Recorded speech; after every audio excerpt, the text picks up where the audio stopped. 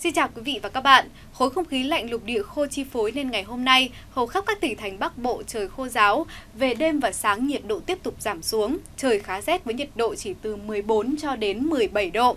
Tuy nhiên đến trưa chiều hứng nắng nên nhiệt độ tăng lên ấm áp ở khoảng từ 21 cho đến 25 độ. Ở phía Tây có nơi sấp xỉ cao hơn nên thuận lợi cho giao thông và các hoạt động ngoài trời trong ngày nghỉ cuối tuần. Các hoạt động du lịch của người dân miền Bắc cũng diễn ra thuận lợi hơn vào ban ngày. Trong khi đó, đới gió Đông Bắc dồn sâu xuống phía Nam, ngày hôm nay mưa cũng đã giảm nhanh tại khu vực Bắc Trung Bộ, trưa chiều trời bắt đầu khô ráo hơn. Tuy nhiên, dọc các tỉnh từ Quảng Bình trở vào cho đến Quảng Ngãi, và cả Bình Định, Phú Yên và Khánh Hòa, thời tiết tiếp tục nhiều mây và có mưa rào trong sáng nay khiến các hoạt động du lịch trong ngày Chủ nhật cuối tuần cũng bị cản trở phần nào. Riêng hai tỉnh cực Nam là tại Ninh Thuận và Bình Thuận, trời có mây thay đổi, phổ biến không mưa. Dự báo đợt mưa tại các tỉnh miền Trung cũng chỉ kéo dài đến hết ngày hôm nay. Trong ngày hôm nay, các tỉnh thuộc khu vực Tây Nguyên như là Con Tum, Gia Lai, Đắk lắc và Đắk Nông, một chút khuếch tán của khối khí lạnh phương Bắc sẽ khiến cho các tỉnh này chuyển nhiều mây hơn. Mặc dù mưa ít có khả năng xảy ra, nhưng toàn vùng xu hướng giảm nhiệt, nhiệt độ trưa chiều chỉ khoảng từ 27 cho đến 30 độ. Trong khi hầu khắp các tỉnh thành thuộc miền Đông và cả miền Tây của Nam Bộ sẽ không chịu ảnh hưởng của hệ thống khối khí này. Toàn vùng vẫn nắng giáo và hầu như không mưa, với nhiệt độ trưa chiều nay dao động từ 33 cho đến 35 độ. Cụ thể ngày hôm nay thời tiết trên đô thị lớn được dự báo như sau.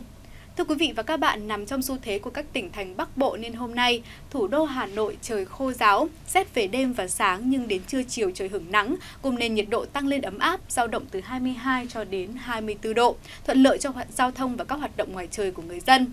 Ngoài ra do độ ẩm không khí hạ xuống thấp nên thời tiết hôm nay cũng thích hợp cho người dân hong, phơi đồ và các đồ nông phẩm. Dự báo xa hơn trong hai ngày đầu tuần tới, thủ đô tiếp tục rét về đêm và sáng nhưng vẫn phổ biến là không mưa, trưa chiều có nắng cùng nhiệt độ tăng dần lên mỗi ngày. Ngày hôm nay, thời tiết tại thành phố Hải Phòng cũng phổ biến là không mưa, đêm và sáng trời còn rét với nhiệt độ ở khoảng từ 16 cho đến 17 độ. Đến trưa chiều nhiệt độ tăng lên và dao động từ 22 cho đến 23 độ, nên thuận lợi cho các hoạt động thông thương và mua bán của người dân thành phố. Thời tiết khô giáo và có nắng nên trong hôm nay và hai ngày tới, bà con cũng có thể tranh thủ hong phơi đồ đạc, dọn dẹp môi trường sống thêm sạch đẹp. Bên cạnh đó, tại vùng ven biển của thành phố, gió Đông Bắc cũng hoạt động giảm dần nên thuận lợi trở lại cho cuộc sống sinh hoạt của bà con ngư dân vùng biển. Ngày hôm nay thời tiết ở Đà Nẵng tiếp tục nhiều mây, có mưa rào trong buổi sáng. Vì vậy nếu có kế hoạch ra ngoài vào thời điểm này, chúng ta nên chủ động mang theo áo mưa. Tuy nhiên đến trưa chiều mưa giảm, thời tiết bắt đầu khô ráo hơn, chỉ còn lất phất mưa nhẹ ở một vài nơi nên thuận lợi hơn cho các hoạt động giao thông. Nhiệt độ ngày hôm nay tại thành phố được dự báo dao động trong khoảng từ 21 cho đến 25 độ, thời tiết mát mẻ và dễ chịu. Thuộc khu vực Nam Trung Bộ tại thành phố Nha Trang, thời tiết được dự báo sẽ nhiều mây và có mưa rào trong buổi sớm. Thời tiết lúc này khá mát mẻ với nhiệt độ từ 24 cho đến 25 độ.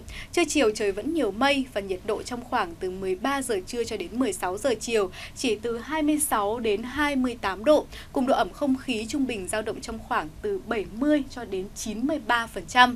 Mặc dù mưa có lượng không nhiều và thời đoạn mưa ngắn, tuy nhiên mưa rào trái mùa cũng phần nào giải tỏa cơn khát hạn, giúp cây trồng sinh trưởng và phát triển tốt hơn. Tại thành phố Đà Lạt của vùng cao nguyên, thời tiết sẽ ổn định trong ngày hôm nay, trời phổ biến không mưa và hứng nắng trong khoảng trưa chiều. Với độ cao trên 1.500m so với mực nước biển, thì Đà Lạt cũng là nơi duy nhất của vùng cao nguyên luôn duy trì ngưỡng nhiệt thấp nhất. Về đêm và sáng chỉ ở khoảng từ 13 cho đến 14 độ, trời khá rét. Đến trưa chiều có nắng nhưng nhiệt độ cũng chỉ tăng cao từ 22 cho đến 23 độ. Thời tiết khá mát mẻ và thuận lợi cho những hoạt động du lịch tại thành phố trong ngày Chủ nhật cuối tuần. Đến với thành phố Hồ Chí Minh, thời tiết không được dễ chịu như vùng cao nguyên. Ngày hôm nay trời vẫn phổ biến không mưa và nắng nhiều trong ngày với nhiệt độ cao nhất sấp xỉ 34 độ, cùng độ ẩm không khí trung bình dao động từ 55 cho đến 85%.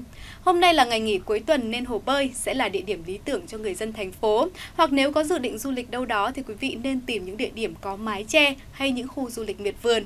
Tuy nhiên về đêm thì khí hậu thành phố có phần mát mẻ, dễ chịu hơn khi nhiệt độ giảm nhanh xuống thấp nhất trong khoảng khoảng từ 24 cho đến 25 độ. Cảm ơn quý vị đã theo dõi bản tin thời tiết đô thị của Đài truyền hình kỹ thuật số VTC. Xin kính chào và hẹn gặp lại trong các bản tin tiếp theo.